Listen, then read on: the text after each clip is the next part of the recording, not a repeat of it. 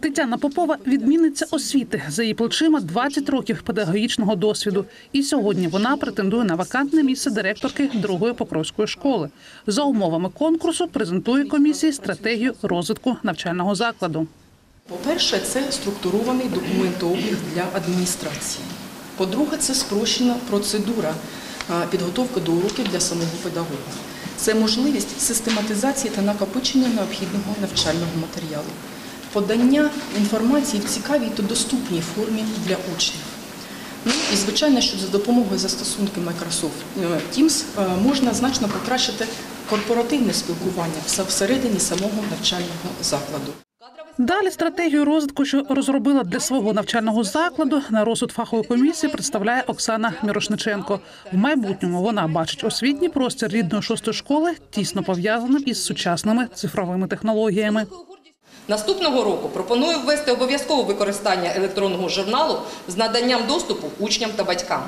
Останню презентувала свою стратегію нині діюча керівниця Гришинського закладу загальної середньої освіти із дошкільним структурним підрозділом Ірина Колеснік. У 2017 році за програмою Велике будівництво заклад отримав друге абсолютно нове життя. І наразі є одним із кращим у громаді. І своїм досвідом вони не проти поділитися із підколективами інших сільських територій.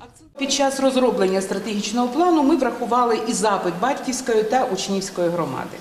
Тож основними напрямами стратегічного розвитку закладу стали перше подальший розвиток універсального освітнього середовища, друге розвиток методичного менеджменту, і третє управління закладом на засадах демократизації та управлінської культури.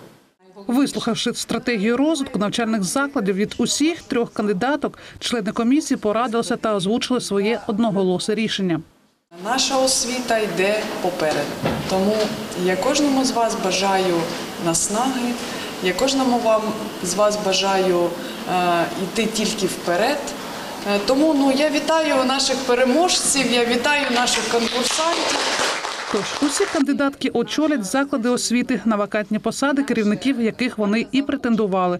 Бо, як зазначила секретарка Покровської міської ради Наталія Іваньо, усі вони прагнуть підняти навчальні установи Покровської громади на новий рівень. Сьогодні були цікаві виступи. Видно, що виважені такі стратегії. Видно, що е, є е, бажання творити, е, робити найкращими освітній процес. І це був останній конкурс на заміщення вакантних посад керівників шкіл, виконуючих обов'язки в закладах освіти громади більше не залишилося.